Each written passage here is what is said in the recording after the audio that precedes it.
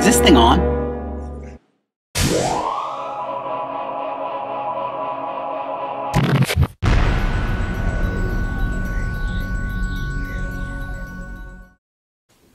Hey there everyone! Have you ever wondered why some things sink and some things float? Well in today's video, we're going to take a look at just that. What sort of objects sink and what sort of objects float? And do you think you can figure it out before we give it a try? I have a bucket of water and I have some objects. Let's see if they sink or float. What do you think about a die?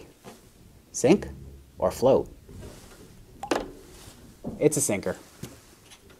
Blue chip? Sinks. A wooden block. Floats. A little yellow man. Sink. A white chip. Sinks.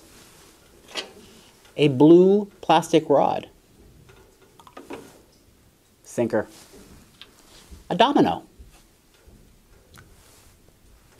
It floats. Binder clip. That sinks. How about a big chunk of clay? It's green. Does that make a difference? Let's see what happens.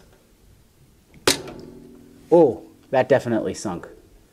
So why do some objects sink and some objects float? Let's take a look. Sinking and floating is all about density. See, density is how much stuff, how much material is packed in a certain amount of space. If something's going to sink in water, then its density has to be greater than water. And if something floats in water, well, its density is going to be less. So, can you figure out something's density just by looking at it? What do you need to know to figure out something's density? Well, you need two pieces of information. You need to know how much mass that object has, how much stuff builds that object, and you need to know how much space that object takes up. Okay, so here's my bucket of stuff. I'm going to take these things out and give them a good dry off.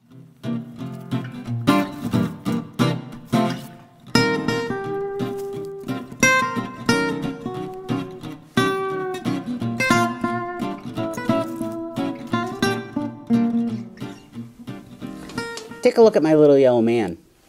He sunk. How about the clay? That sunk too. The density of both of these things must be greater than water. Well, I can't change how much mass I have, but I can change the volume. Volume is the amount of space this object takes up. I can push the clay around into a different shape.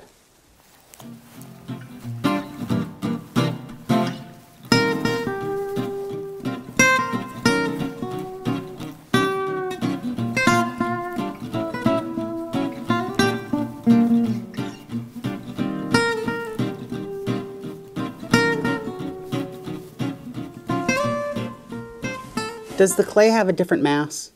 Nope, I still have all the same clay I started with. But did its shape change? Well, a little bit. So, what if I put the man inside my clay? It's like a little boat. If I put this in the water, let's see what happens.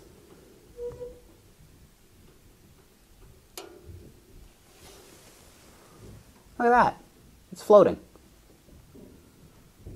Let's take a closer look.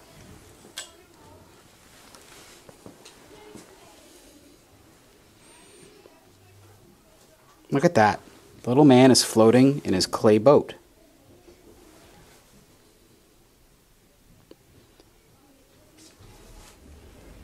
Okay, so we can see what's going on here. I'm going to take my boat, I'm going to cut it in half, and we're going to take a different look at this.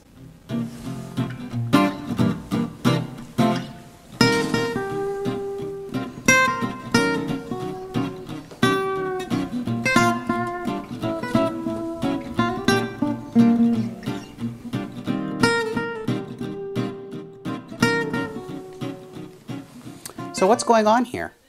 Well, here's the cross section of the boat and our little man is inside. The density of the clay is greater than water and the density of the man is greater than water, but yet the boat's floating. So we said for something to float, its density has to be less than water's density, and for something to sink, its density has to be greater than water's density. And I left out an important little tidbit. It's really the average density of all the parts that are submerged.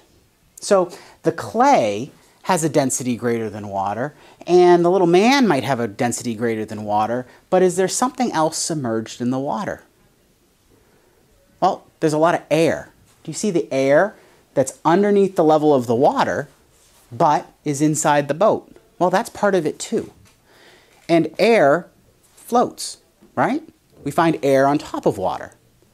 So if I calculate the density of all the stuff underneath the water level surface, well, the average of that density is less than water. And that's why it all floats. I can keep adding things into my boat. Well, if I add things into my boat, what I'm pushing out is air. If I take cement and I fill my boat up, it's going to sink. If I take something that floats, like styrofoam, and I fill my boat up with that, well, it's still going to float because the average density of all the stuff underneath the water level contained within the boat well, the average density is less than water and it will float. There's actually a race that I once saw. It's called the Concrete Canoe Race. College students make canoes out of concrete. We typically think that concrete will sink. Well, if we shape that concrete right and add lots of air and styrofoam underneath the water level with the concrete, then the average density goes down. And therefore the boat will you got it, it'll float. So people that design boats need to make sure they remember this. We can't fill up the boat all the way with steel or cement or concrete. We need large pockets of air or styrofoam or some other material that has a density less than water so that our boats float. So you're perfectly safe getting on a boat. We just can't cram everybody onto the boat. Anybody know how to shut this thing off?